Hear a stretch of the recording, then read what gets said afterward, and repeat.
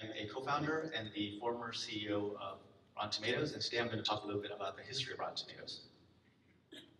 So, quick intro. I'm an American-born Chinese. I went to UC Berkeley, where I majored in cognitive science, and I am a serial entrepreneur. Started six startups, four in the Bay Area, one in China, and one in Hong Kong. So, what is Rotten Tomatoes? Rotten Tomatoes is a site for movie reviews and news.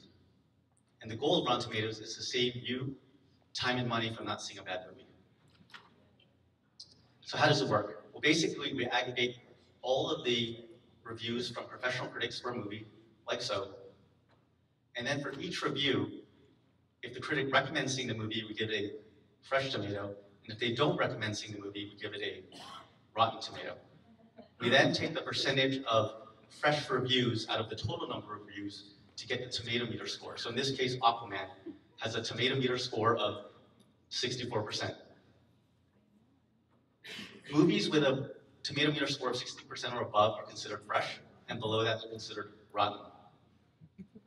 So let's go back to the beginning. This is my co-founder of Rotten Tomatoes and our former CTO, Stephen Wang. Prior to doing Rotten Tomatoes, the two of us co-founded a company called Design Reactor, where we did interactive design for the entertainment industry. We worked with Disney Channel, Warner Brothers, we did the official website for Jet Li, we did the official Flash game for Who Wants to Be a Millionaire on ABC. Our team was mostly straight out of school and almost all from UC Berkeley. This is the creator of Rotten Tomatoes, Senh Duong. He was our creative director at Design Reactor, and he came up with the idea just on the side. He was a huge movie buff. So how did he come up with the idea? Well, basically, back in the day, if you open up a newspaper, you'd see a full-page ad, and it would look like a movie poster filled with quotes, basically like this. And actually, the producer of Superman Returns right there, Chris Lee. Um, and, and the idea was, back then, it didn't matter if the movie was good or not, those quotes would always be good. If the movie was good, those quotes would be from famous film critics. If the movie was bad, they would be from random radio station DJ in the middle of nowhere. So Senh's idea was, well, what if I take only quotes from professional critics, good and bad, and put it into one place? And thus Rotten Tomatoes was born. When it first launched, it looked basically like this. This is in August 1998. And the first movies, one of the first movies Senh uh, built a Rotten Tomatoes page for was Rush Hour because Senh was a huge Jackie Chan fan. And that was actually his motivation. He wanted to know what everyone was saying about the movie when it came out. So eventually we transitioned from Design Reactor to Rotten Tomatoes. At first, Steve and I were actually against Senh putting so much time into the site because it was affecting his work at Design Reactor. He was pulling all-nighters on Wednesdays and Thursdays gathering reviews, and he would come in late or call in sick, and even when we came in, he just wasn't as productive. But over the course of the next year, we gradually changed our minds, and three things in particular helped change our minds. The first was as soon as it launched, it started getting, you know, cool site of the day, cool site of the week, cool site of the month from Netscape and Yahoo.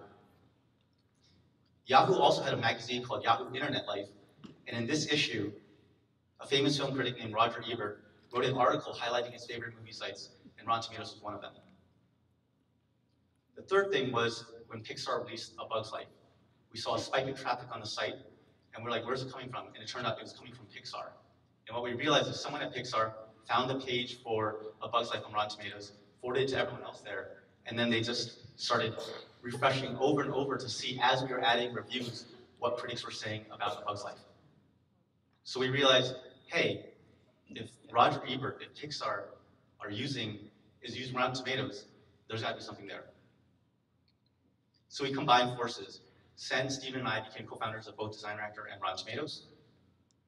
I went out and raised a million US from angels uh, that were our clients at Design Reactor. And then we passed our design firm off to another group to take over so that we could focus all of our resources on Rotten Tomatoes. After we decided to make this transition, March 10th of 2000, the internet stock bubble burst. We were closing our funding around January of 2000 and actually one investor had to back out last minute. So we barely made it. had we started trying to raise money even like two or three months later, most likely we would not have raised money, and there might not be a Rotten Tomatoes today. So very quickly, we had to go into survival mode. One way we were able to survive was we got a deal with MySimon. So two of our investors actually introduced us over to MySimon. MySimon was a price comparison engine.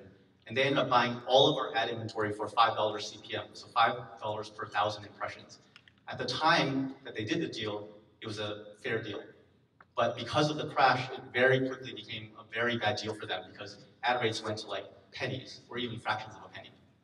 Um, and it was a one-year deal, and we were terrified the entire year that they would cancel at any minute. But luckily, I think they forgot about us because they had other things to worry about, and so they didn't cancel the deal. They didn't renew it, but it still helped keep us in business. Another way we were able to survive uh, was we were essentially forced to bootstrap. We went from 25 people to, to 21 to 17 to 14 to 11 and down to 7, all in the course of one year. We basically kept people hired until they could find something else so they wouldn't have a gap, but we knew we had to cut down. So in addition to myself, Stephen, and Senh, we had Lily, who was our CFO, and basically uh, our company mom. She had two sons around our age. we had Paul, who handled marketing, and then we had Susan and Bin, who were our two editors.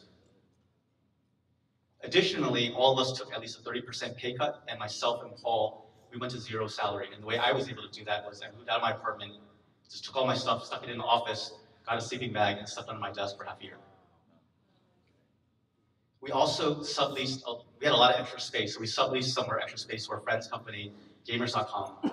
They had actually gone from 130 people to less than 10. Um, but by subleasing space, we were able to further reduce our monthly cost. So in the old model, companies would raise money, buy a lot of eyeballs in a big land grab, raise more money, kind of repeat that process a couple times, and then IPO.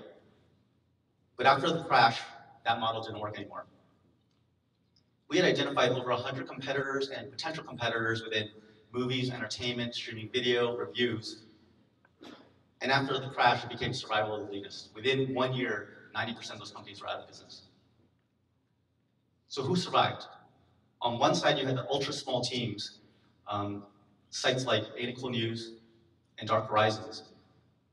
And on the other side, you had the big players, companies that owned a movie site but didn't depend on that movie site to save business. So Disney owned movies.com, Yahoo had Yahoo Movies, and Amazon had IMDb. In addition to the crash in March of 2000, 18 months later was 9-11. And for companies that were dependent on advertising revenue like Rotten Tomatoes, it actually was pretty hard because after such a tragic event, no one wanted to see any advertising. So a lot of advertising budgets were slashed, ad campaigns were canceled or pushed back. But after those two events, we started to finally see a light at the end of the tunnel. We started growing. We added three more folks Evan, who was our first real salesperson, James, who was an additional engineer, and Mark, who's an digital editor. And Mark's sitting over there, and he lives in Hawaii now. On the growth side, we focused on three areas, traffic, revenue, and brand. On the traffic side, we generated mainly through search engine optimization and word of mouth. When we ran Rotten Tomatoes, we were consistently within the top 1,000 most traffic sites in the world on Alexa. Now it's consistently in the top 500. We automated the site by working with companies such as the movie review query engine, MRQE, to automate the parsing of reviews and getting them over to us. In addition to working with MRQE, we licensed generic movie data such as cast crew and filmography. We also built a critic submission tool so critics could submit the review directly to us, tell us if it's fresh or rotten, give us a quote. So it all, not only made it things easier for us, but also made us more accurate. All those changes allowed us to go from 10 editors down to three, Susan, Bin, and Mark. We refreshed the look of the site, tried to make things a little bit cleaner. We added movie forums, and while we were running Rotten Tomatoes, our movie forums were among the most trafficked in the world. We added a weekly newsletter, the Vine, which was our attempt at like a social network, essentially allowing people to connect with their friends and write their own reviews for movies. We even launched into the games category temporarily to kind of show that the model could work in categories beyond movies. On the revenue side, all that bootstrapping allowed us to get to break even. We generated revenue in three ways. 50% came from advertising, 30% from affiliate deals, 20% from licensing.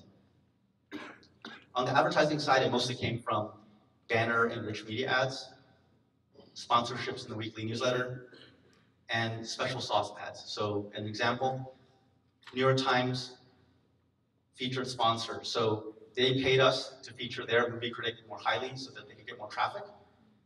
For us, we generated additional revenue in a essentially a new ad unit. Um, but that critic's review didn't affect the tomato meter more than any other critic would. So it was kind of a win-win on all sides. On the affiliate deal side, we would help companies sell product. But additionally, what was good for us is it also gave us more data. So with AllPosters, we had uh, movie posters and celebrity photos, but we also got those images. With PriceGrabber, we got price comparison of soundtracks and DVDs, but we also got that pricing information. We worked with movietickets.com to sell movie tickets, but we also got Showtime information. And we also worked with Sideshow Toy to do movie collectibles. On the licensing side, we worked with companies such as Comcast, Netflix, and Microsoft. And then on the brand side, we did media partnerships with companies such as Daily Variety and The Hollywood Reporter, as well as new media such as Ask.com and Google Desktop. We created a new tier called Certified Fresh, and that was 75% or above, meaning at least three out of four film critics recommended seeing the movie. What was good about this was it brought in additional revenue a lot of times because when a movie was certified fresh, the studio would want to promote that fact.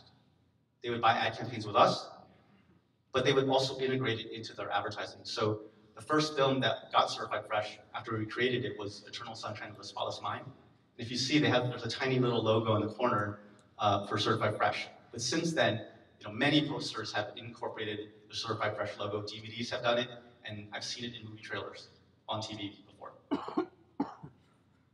we created the Golden Tomato Awards, which is like our version of the Oscars, and they're actually harder to get than Oscars because we don't give out as many. And one of the early films to get a Golden Tomato was Finding Nemo. And here's a shot of the two directors of Finding Nemo with a box of fresh tomatoes from Rotten Tomatoes. Another way we grew was through word of mouth. And this is probably the best example of word of mouth ever. Uh, now, this, this movie's actually getting, it's getting great reviews. It's on, uh, uh, you ever go on Rotten Tomatoes? No. Rotten Tomatoes is like a, it's like a website that reviews uh, uh, movies before they, I, I guess before they come out. Or, Did we get any, any, you got very good reviews. You got full tomatoes, which is which is good. like, not, not rotten ones? No, if you get a tomato, that means that uh, a certain percentage of people say it's good. I think it's over like 70% say it's good. And if not, you get, I'm not even sure why they do this, an asterisk, which makes no sense in terms of a tomato. so if you if your if your movie is bad, there's an asterisk next to it, and if it's good, a delicious tomato. Then we got a delicious A tomato. delicious tomato. So congratulations. Very excited. Eternal uh, uh, Eternal Sunshine also got a tomato. It did. Yeah. That, that's, yeah, it's good. Yentl? Asterisk. So when this came out, I was actually rooming with Mark at the time, and I don't normally watch The Daily Show. He does. And I was out in the kitchen microwaving some food, and then suddenly Jon Stewart starts talking about Rotten Tomatoes, and we were just like freaking out. We're like, "Oh my god! Oh my god!" And like grabbing our cell phones, trying to call our friends and be like, "Turn on The Daily Show." And, and yeah, even to this day, I think this was probably the most exciting thing for me ever as far as Rotten Tomatoes. So after all that, we eventually sold the company. We had some early offers from iFilm, which was almost like YouTube before YouTube, and eUniverse, which is best known for helping to create MySpace. But these offers were pennies on the dollar. Our investors actually wanted us to take those deals, but we want, by that time we were already break even, and we felt like we should at least wait until we could sell and investors could get all their money back, so we didn't take those. Later on, we got offers from IGN Entertainment, which is a gaming site, Hollywood.com, CNET, which owned GameSpot, and Google. and we ended up selling to IGN. And the reason why was Hollywood.com couldn't match IGN's offer. CNET could, but they had more VPs than IGN had people. We just felt like they were too big and too bureaucratic. Google was also very big. We actually would have loved to sell to them, but they only approached us three weeks before we were going to close our entire deal with IGN. We had signed a no-shop agreement. We had already spent over 300000 in legal fees, you know, doing due diligence and everything with IGN. And we just thought, one, it's kind of risky to try to wait out the no-shop to talk to Google, or it's very bad faith and illegal to try to go around them to don't talk. So we said, you know what, let's just sell to IGN. Looking back, maybe it would have been a better idea to sell to Google, but at the same time, we don't know if the site would even be around now had we done so. So why did we sell? Well, when we started it, everyone was low to mid 20s. By the time we sold, we were late 20s to early 30s. People were getting married, having kids, buying houses, buying cars. And we thought, you know what, if we sell, people get some money and they can kind of move to the next phases of their life. For me, being an ABC, I wanted to try something new. I wanted to see what Asia was like. So myself and my co-founder Stephen both ended up moving to China and then later to Hong Kong. In Hong Kong, we worked on a site called alivenotdead, which was like MySpace for Asia, working with celebrities and artists over there to connect with each other and to their fans. It doesn't really exist anymore, but it was a good experience. So what happened after the sale? We sold IGN in 2004. A year later, they sold to News Corp. In 2010, News Corp sold Rotten Tomatoes over to Flixster. A year after that, Flixster, along with Rotten Tomatoes, sold to Warner Brothers. And then five years after that, Warner Brothers sold Flixster, along with Rotten Tomatoes, to Fandango. So Fandango owns it now. So a quick timeline of what the site has looked like under different owners. This is what it looked like roughly when it launched. And then after our refresh, this is what it looked like with IGN. And then News Corp. And then Flixster. Warner Brothers. Fandango. So as you can see, Fandango actually changed from kind of a green to a red. They actually refreshed the logo, so it's different now. And they went to much more like white and kind of clean looking. I'm biased. I kind of like our earlier versions where we had more color. I, I feel like it had more personality. The brand has continued to grow over the years. For one year, year and a half in 2009, there was actually a Rotten Tomatoes show on current TV. And wanted to show you the opening intro for you movie buffs to see if you can get the movie references in the intro. show, we take a look at the best of sin and vice in the movies. The top five drunks, the best parties, the worst kisses, they're all here. So sit back, relax, and get ready to get dirty.